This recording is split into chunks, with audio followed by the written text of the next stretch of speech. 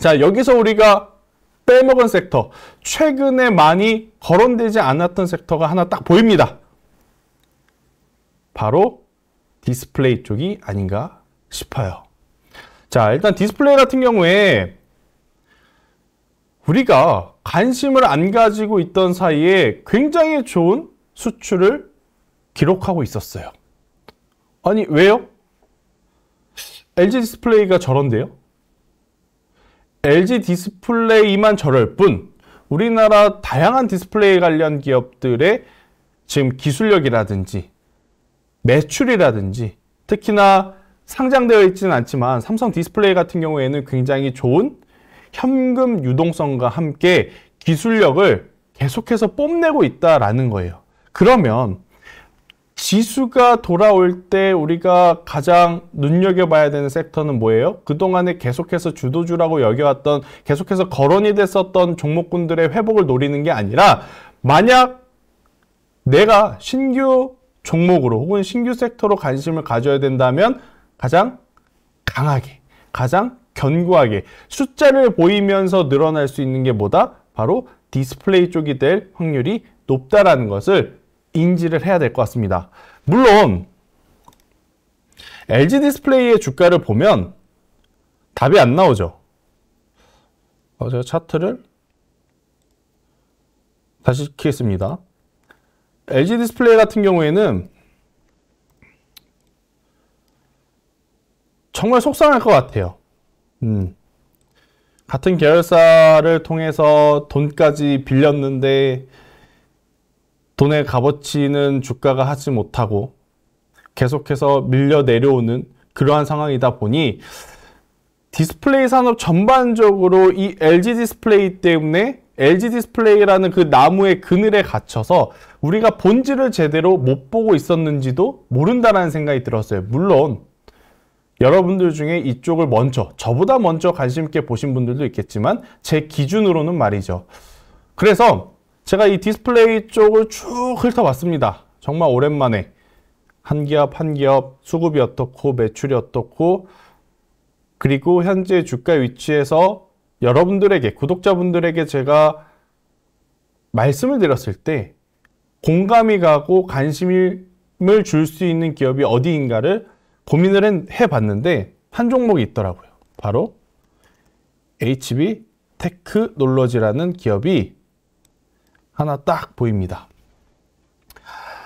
아이러니하죠. 지금 시장은 전통 반도체, 그리고 그동안의 낙폭이 깊었던 2차 전지의 반등세가 과연 어디까지 나올 건가 그것에 모두 포커스를 맞추고 있지만 저는 그것보다 그 다음을 또 생각하고 있다는 거죠. 음. 왜? 어차피 올라가게 되면 그것들은요, 그들은요, 관심 안 가져도 알아서 올라갑니다. 음? 알아서 올라가는 거 굳이 보고 있는다 해서 더 올라가지 않아요. 차라리 그 다음을 우리는 미리미리 준비를 해야 된다. 이러한 마인드로 시장을 보셔야 됩니다. 자, 제가 오늘 여러분들께 좀 말씀드리고 싶은 이 OLED 관련 산업에 대한 장점은 뭐다? 뭐냐면 적용 모델이 계속해서 늘어나고 있다는 게첫 번째예요. 음. 과거에는 모바일 제품 일부 몇 종목, 노트북 몇 종목, 혹은 TV 몇 종목에만 이 OLED 패널이 들어갔다면 이제는 OLED가 대세가 되어가고 있는 상황입니다. 기존의 액정 패널들보다 전기료가 적게 들고 그리고 사용기간은 더 오래 가고 그러면 당연히 기술력만 된다면 수율만 낸다라고 하면 디스플레이 기업들은 더 좋은 평가를 받을 수 있다라는 거죠. 자, 그런데 OLED 산업 자체가 사실 소외를 받았던 가장 큰 이유 중에 하나가 뭐냐면 시장의 규모 면에서 전통 반도체 그리고 2차 전지보다 작을 수밖에 없어요. 그러다 보니 디스플레이 쪽 산업은 정말 정말 시장이 생각한 것보다 엄청난 폭발적인 퍼포먼스를 보이지 않는 이상 다소 소외받을 수 없는 섹터 중에 하나다 아니 하나가 된 게 아닐까라는 생각이 들어요. 그래서 오늘 제가 말씀드리는 이 HB 테크놀로지 같은 경우에는 세 가지의 사업을 한다라고 보시면 됩니다. 일단 첫 번째 OLED 테스트 장비. 여기에 이제 더 중요한 게 뭐냐면 OLED 말고 그럼 무엇을 해요? 2차 전지와 반도체 테스트 장비를 만든다라고 보시면 됩니다. 자, 지금 시장이 가장 핫한 건 뭐예요? 반도체와 2차 전지. 어? 반도체도 걸리고 2차 전지도 걸리고 OLED도 지금 수출 데이터 기준으로 보면 시장에서 충분히 관심을 가져볼 만 한데 이것까지 사업을 영위하고 있다.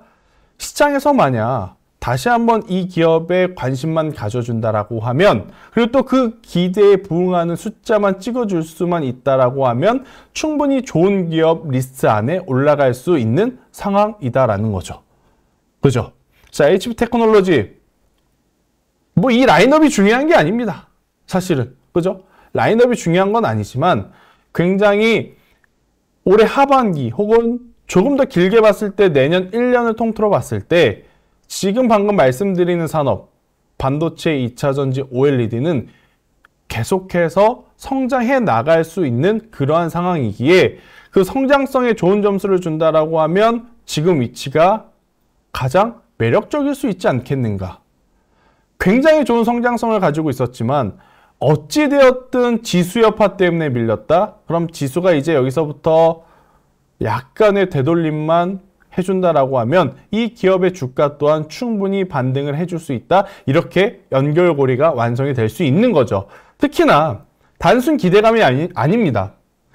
2차 전지와 엮여있고 반도체와 엮여있고 OLED 산업도 하기 때문에 주가가 올라갈 수 있겠다. 단순히 기대감이 아니라 실제로 수주 잔고가 작년 2022년 대비해서 약 3배 정도 지금 3분기 현재 시점인데 3배 정도 늘어난 상태예요.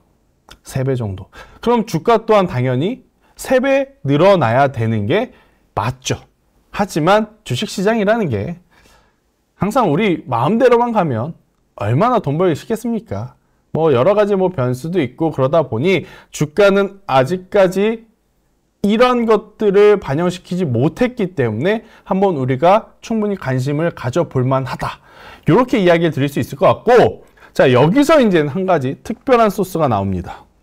지금부터 잘 들어보셔야 돼요. HP 테크놀로지의 시총이 약 2,500억입니다. 여기 위에 쓰여 있는데 잘 안 보이실 거예요. 그래서 제가 말씀을 드려요. 오늘 종가 기준으로 아마 계산을 해보면 약 2,500억이 조금 안 될 거예요. 조금 안 될 건데 이 기업이 참 투자를 잘하는 것 같아요. 투자를. 이 기업이 어떤 투자를 잘했을까요? 어떤 투자를? 어떤 투자를 잘했을까요? 자, 이 기업이 지금 프레스토 제6호 사모 투자 합자 회사의 지분을 가지고 있습니다. 아니 이게 또 도대체 뭔 소리야? 프레스트 프레스토 제6호 사모 투자 합자 회사의 지분을 가지고 있어요. 그런데 이 회사가 뭐 하는 회사인지 아세요? 이 회사가 HPSP의 대주주예요. HPSP가 뭐죠? 반도체 전공정 탑3 안에 드는 기업. 유진테크, 주성엔지니어링, HPSP. 자, HPSP의 최근 주가 흐름 보겠습니다. 반도체는 결국 기회였던 거예요. 최근에 지수 눌림에 삼성전자와 SK하이닉스가 밀리지 않았다는 것을 느꼈다면 결국 공략해야 될 쪽은 반도체였던 것입니다. 만약 SK하이닉스가 다시 한번 고점을 돌파한다? 대다수의 반도체 소부장 기업들 정말 다시 한번 고점 플레이 할 가능성이 높고 최근에 아마 저뿐만이 아니라 많은 분들이 많은 채널에 나와서 이 HPSP에 대한 이야기를 긍정적으로 해주신 걸로 저도 알고 있어요. 일단 제가 알고 있는 기준으로는 고압수소 어닐링 공정을 하고 있는데 이 고압수소를 이용하는 것 자체부터가 굉장히 기술력이 높아서 기술 장벽이 높다라는 것은 다른 기업들이 이 시장에 들어오기 굉장히 불편하다라는 거죠. 음. 그렇기에 업황이라든지 수급만 조금 더 받쳐준다라고 하면 당연히 기업의 가치는 쉽게 쉽게 올라가는데 이 기업의 대주주가 아까 이야기한 그 기업입니다. 한번 볼까요?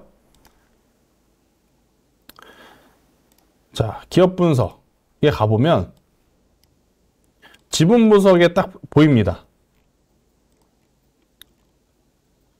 최대 주주 프레스토 제6호 3호 투자 합자 회사 보이시죠? 이 합자 회사의 지분 10%를 가지고 있는 게 바로 오늘 제가 여러분들께 말씀드리는 HB 테크놀로지. 그러니까 여기서 오해를 하실 수 있어서 제가 한 번 더 말씀을 드려요. HPSP의 지분 10%를 가지고 있는 게 아니라 HPSP의 최대 주주인 이 합자회사의 지분 10%를 가지고 있습니다. 어, 단순히 그냥 HPSP 시총이 10% 이렇게 계산하시면 안 돼요.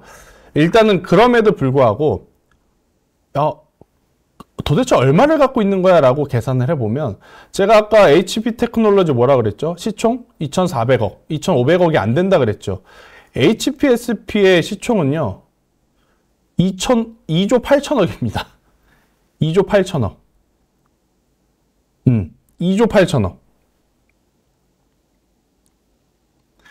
여기에 지분 일부만 가지고 있다 하더라도 계산을 해보면 대략적으로 약 1,500억 정도 되거든요.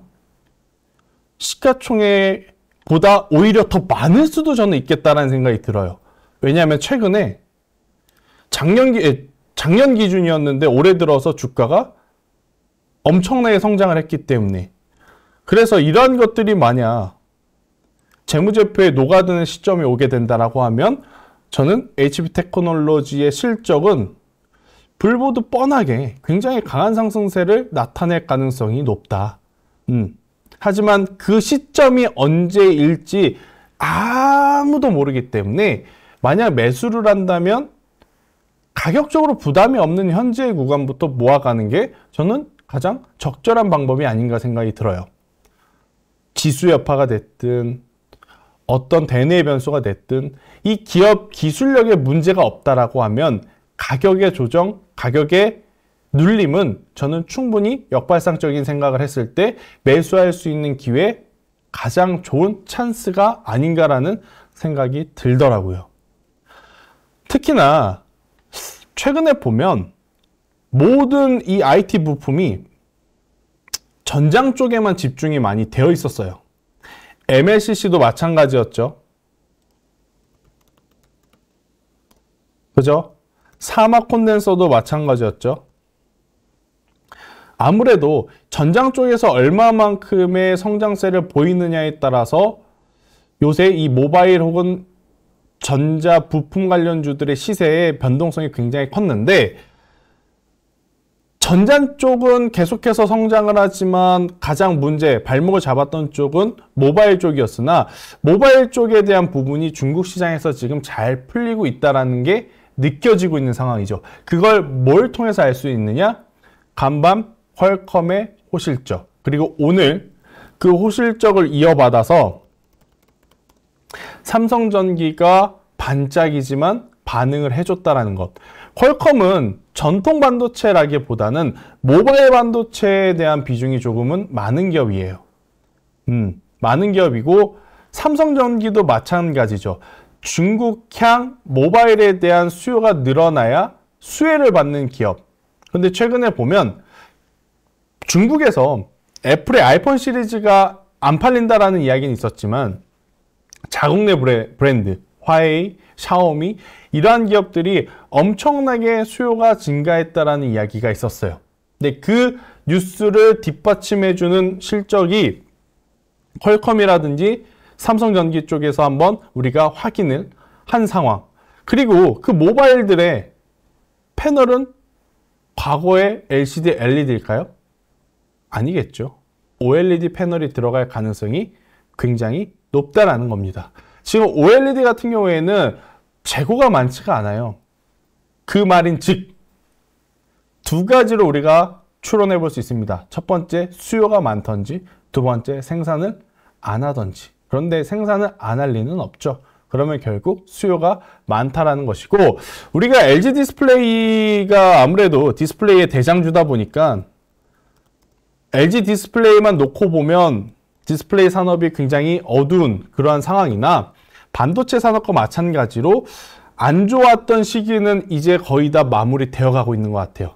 삼성 디스플레이가 최근에 엄청나게 좋은 성과를 지금 내고 있다라는 소식이 들려오고 있고 또 현금 유동성도 굉장히 지금 많이 올려놓은 상태예요. 근데 시기가 딱 맞아 떨어지는 거죠. 음, 8세대 OLED 패널 시작을 하게 되면 뭐부터 할까요? 소재, 장비 발주부터 진행이 되겠죠. 그러면 그 장비를 생산하는 기업들에게는 분명히 또 한 번 주가가 올라갈 수 있는 트리거가 될 수 있는 요소이기 때문에 어, 여러분들이 지금 당연히 가장 관심을 가져야 되는 쪽은 반도체 2차 전지가 맞습니다. 하지만 그 다음 혹은 포트 내에 내가 새로운 섹터와 새로운 종목을 포함해 본다라고 하면 이젠 OLED 관련 장비주들도 꼭 보셔야 될 때가 아닌가라는 생각이 드네요. 음, 이해되시나요? 왜냐하면 제가 여러분들이 이제 가장 관심이 많을 대표 종목군들을 방과후 수업 시간에 그동안 좀 많은 이야기를 드려왔는데 맨날 2차 전지 이야기하고 맨날 반도체 이야기하면 뭐 하겠습니까? 그죠? 새로운 이야기, 새로운 종목, 새로운 시각도 저는 필요하다라는 생각이 들어서 디스플레이 쪽을 좀 이야기 드려본 것이고 그래서 오늘 주제가 뭐였었죠? 시장이 반등을 한다면 가장 강하게 반등하는 쪽 우리가 그걸 찾아야 되는데 저는 만약 여기서 수급만 맞춰주었다고 했을 때 충분히 디스플레이 OLED 관련 쪽도 이제는 또 하나의 어, 핫 이슈가 될 가능성이 높다라는 생각이 듭니다. 대신에 이제부터는 좀 안 좋은 이야기를 잠깐 할게요. 관심을 가져야 하는 섹터가 있, 있는 반면에 이제는 조금 조심해야 되는 섹터가 어, 다소 보이기 시작한 것 같아요. 음. 아, 이 섹터 말하기 싫은데 그래도 이야기할게요. 엔터사들입니다. 하이브, JYP, YG 엔터, SM. 오늘 하이브가 굉장히 좋은 성과 그리고 이제 신, 그 BTS 멤버의 솔로 앨범이 준비가 되어 있는 상황에서 과거에 보여줬던 민감도를 보여주지 못하고 하락 마감을 했다라는 게 굉장히 지금 불편한 흐름을 좀 예고하는 시작점이 아닌가라는 생각이 들더라고요. 물론 내일 만약 바로 양봉을 보이면서 상승을 하게 되면 제 걱정은 기우였을지도 모릅니다. 하지만 빠른 시일 안에 오늘 기록했던 고가를 넘어가는 모습이 보이지 않는다라고 하면 엔터사들은 당분간 가격적인 조정이라기보다는 기간적으로 조금 흘러갈 가능성이 굉장히 높아요. 지켜보는 거죠. 이번에 마약 이슈 때문에 여러 사람들이 거론이 되고 있는데 이게 어떤 작품에서 문제가 될 수도 있고 소속사 기준으로도 문제가 될 수 있고 뭐 컨텐츠 기준으로도 문제가 될 수 있고 그러한 상황이다 보니 관망 모드로 사람들이 엔터사들을 보게 될 가능성이 높아진 거죠. 마약 이슈가 있었음에도 불구하고 그 하락을 빠르게 회복시킨 건 실적의 기대치 그리고 지금보다 더 나아지는 성장성 그런데 오늘 실적이 나온 나왔음에도 불구하고 더 치워가지 못했다라고 하는 것은 조금 더 시간이 필요해질 수도 있다라는 저는 시그널이 아니었나라는 생각이 들어요. 그래서 엔터사들에 대해서는 기존에 보유하고 계신 분들이 제 이야기를 듣고 뭐 빠르게 매도한다, 매도하자 그런 건 아닙니다. 그냥 기존에 가지고 계셨던 분들은 우선 더 가지고 가시는 게 맞을 것 같고 제가 이제 걱정이 되는 것은 뭐냐면 신규 매수하실 분들. 음. 신규 매수는 이쪽이 아니에요. 이쪽이 아니에요. 차라리 단기로 하실 거면 반도체 그리고 2차 전지에서 힌트를 좀 찾으셔야 될 것 같고 길게 보신다라고 한다면 앞서 말씀드렸던 OLED 쪽이 저는 좋은 힌트가 되지 않을까 생각이 듭니다. 그래서 엔터사에 대해서는 음, 부정 아, 이제 엔터사는 안 된다 이러한 시각이 아니에요. 아무래도 이제 큰 이슈가 있고 우리가 기대했던 눈높이가 컸던 만큼 그 눈높이에 충족시켜주는 숫자가 찍히는지 여부를 체크하고 돌다리도 두들겨 보고 건넜으면 좋겠다라는 이야기를 전해드리고 싶습니다. 아셨죠?